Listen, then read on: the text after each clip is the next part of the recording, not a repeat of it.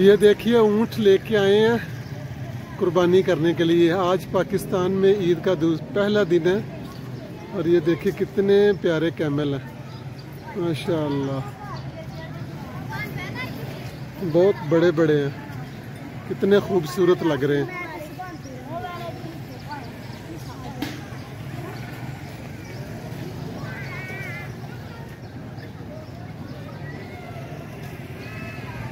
ये देखिए, ये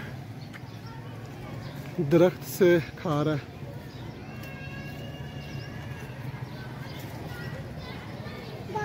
दो इस तरफ़ हैं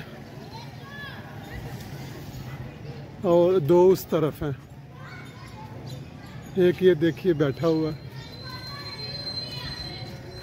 इधर आ आओ ना, पीछे पीछे ये देखिए, आराम कर रहा है।